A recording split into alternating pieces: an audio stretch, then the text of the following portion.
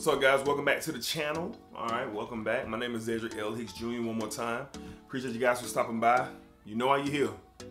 You're here to listen to me talk about that smell good. That's right. That smell, smell good.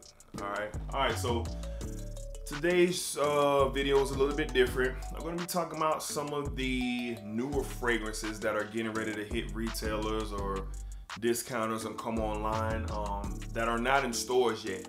Um, I follow a lot of fragrance um, uh, accounts, so to speak, on Instagram and on Twitter. So there's a few fragrances that are on their way out, and um, we're going to talk about them. Let's talk about some of the notes, what I think, and you know what maybe to expect. But we, before we do any of that, you know, again, please, if you like what you're hearing, um, you come back for your second, third, or fourth time to see what I'm talking about. Do me a favor and hit the subscribe button down below.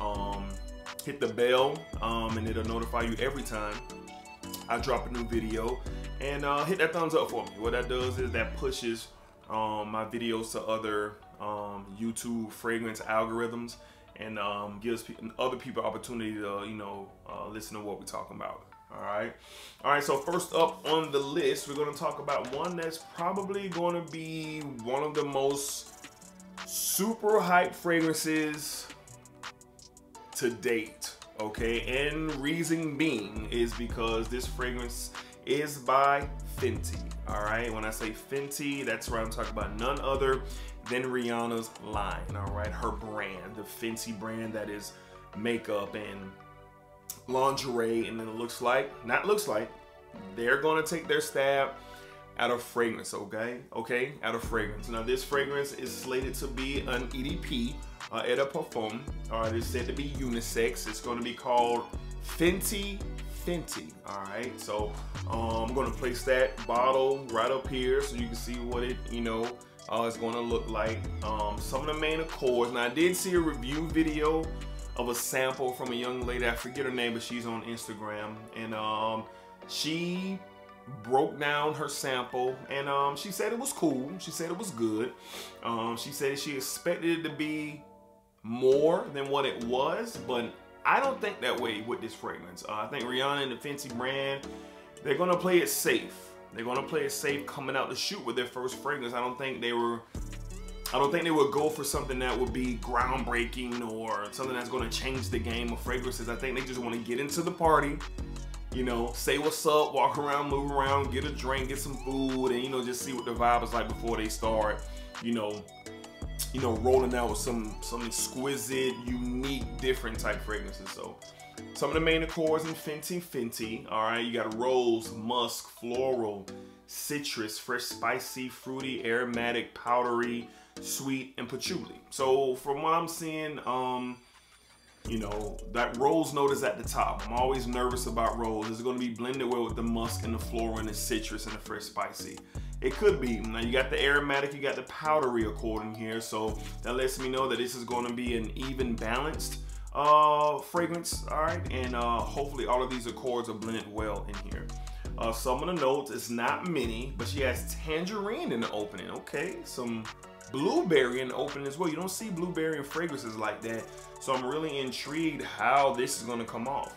All right, in the middle notes, you got some uh, some rose, some geranium, and some magnolia. All right, so there's your floral component uh, in this fragrance. How is that gonna be complemented with the citrus aspect? Gonna be interesting. And down in the base note, you have some musk and you have some uh, patchouli. Okay, so all in all, you know, the patchouli gives you this uh, woodsy, mossy feel, and the musk uh, gives you, um, you know, I want to say masculine feel, but masculine feel with some musk.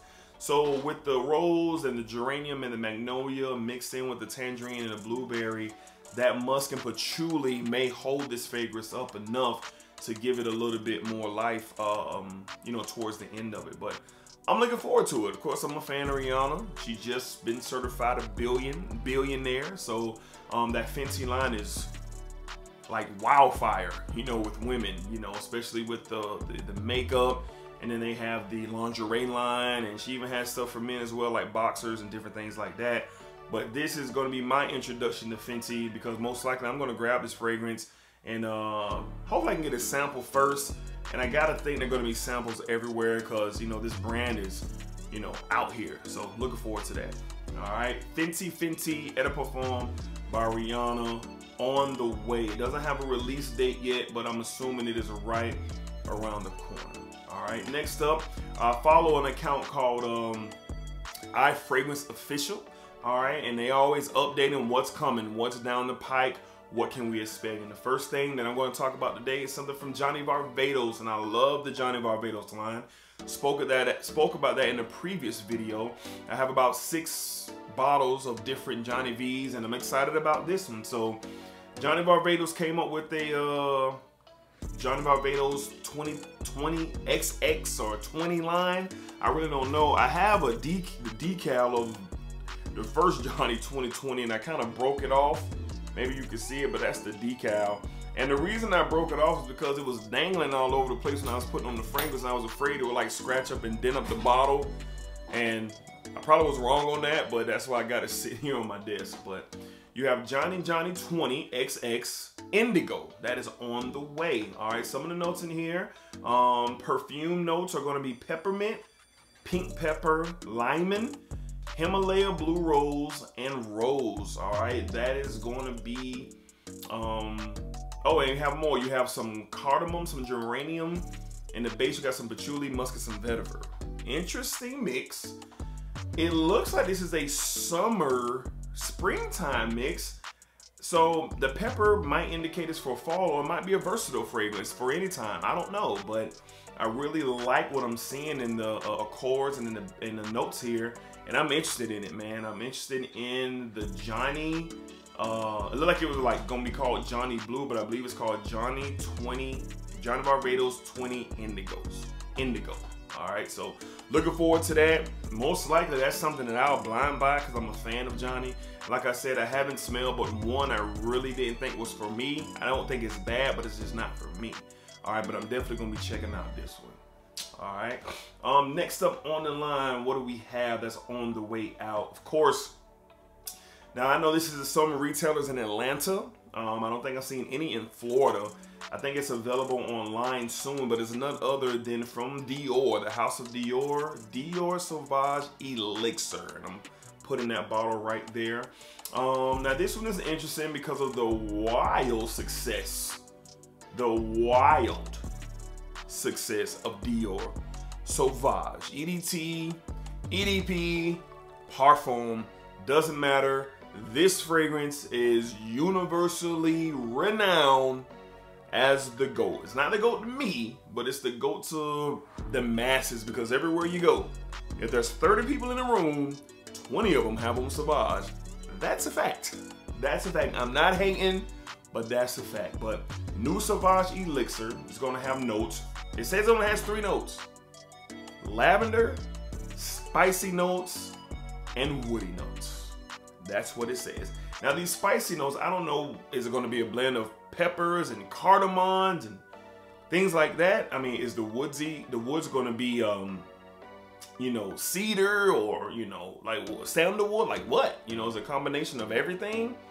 It's gonna be interesting to see for sure. So Sauvage Elixir, rumors are, and what I've seen so far on YouTube, uh, is that this fragrance is more richer, has more body, um, and it only comes in a 60 ml, and it is pricey. From what I understand, this fragrance is to be $190.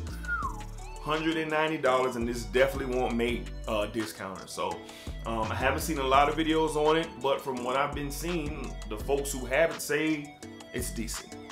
It's decent, but it's a more richer version of Dior Sauvage. All right, so we'll see how that goes. All right, another one that caught my interest while we here. I think it's like one or two more. Um, Prada Luna Rossa Oceans. All right, now I know this one is on the way uh, to retailers, and I can't wait to check it out. Now, some of the accords and the notes in here um, are interesting. So when you hear the name Prada Luna Rossa Ocean, and I have it right here, I mean, you think aquatic, you think oceans, I mean, you think water, you think marine-like fragrances, and the notes don't depict that. All right, you got bergamot, iris, and caramel and vetiver. Again, bergamot, iris, caramel, and vetiver. That is interesting and unique all in itself. All in itself. I really want to smell it. This is Prada's take out a blue fragrance. You got, of course, your Bleu de Chanel's, your Dior Sauvages. Um, you know, Nautica does a lot of blue fragrances. So for, um, you know, Prada to take a stab at it and you read the notes, it really doesn't balance out to what you would expect of blue fragrance to be. But we're gonna find out. Um, so very interested in smelling the Prada Luna Rossa Oceans, okay? All right, let's see else, what else we got. Ralph's Club. Ralph's Club is another video, excuse me, a video. Another fragrance that I'm looking forward to. And I gotta say, I haven't heard the best um, reviews on this. Um, from all I hear, they say it's cool, it's decent. They have it at my local dealers. I just haven't made my way up there, but it's a brand new fragrance that might have been out a couple of weeks. Um, but some of the notes in here, lavender, clary sage, virgin cedarwood, and vetiver, that's it. Um, me and my friends were talking about Ralph Lauren needing to reinsert themselves in the fragrance game. You haven't had nothing polarizing probably since Polo Red. And Polo Red, Intense Polo Red, EDP. I mean, you haven't had nothing, in my opinion, like the new Polo Green. No, sir. I'm not rocking with it. I mean, I guess, you know, the Polo Ultra Blue, and the, it's very good to have that. And you got the Polo uh, Parfum. I've smelled it, and it's cool, but from what I understand, this Ralph's Club ain't all that, man. But I'm to check it out because some of the notes I am interested in. So the Ralph's Club, I will be checking out. All right. And last but not least on this uh, video of fragrances that are on the way, this was was this is one of my favorite lines. The replica brand from Maison Margiela. This is called Autumn Vibes. Okay, very much so. Uh, look into this. Top notes, cardamom, pink pepper. Middle notes, nutmeg and carrot seeds. Hmm. And the base notes, moss and cedar. All right. So very much so looking forward uh, to this one. I gotta think that this is probably a unisex uh, fragrance, but I love the replica line. I have two uh, from the replica Maison Margiela line, and I'm looking forward uh, to this one. So I'm interested to see when this one debuts. It sounds, looks like that it's on its way, um, but I'm very much so looking forward to it. All right, so I'm gonna be doing some videos like this going forward where, you know, I'm discussing some of the fra new, newer fragrances that are on the way. So shout out to uh, uh, I Fragrance uh, Official um, for helping me out and getting me all the information and detail that I need on some upcoming fragrances, all right? So, all right, so that's pretty much gonna wrap up this video. Again, please like, comment, subscribe if you like the video, if you're interested in this video or my channel. Um, if you know you're interested in past videos, you can check them out right after this one. And again, I just appreciate all the support that I've received so far.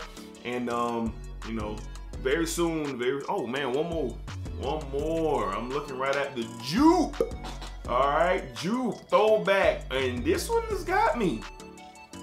Top note, bergamot, cinnamon, hazelnut, orange blossom, cardamom, tonka bean, vanilla, sandalwood, and vetiver. Hmm, hmm.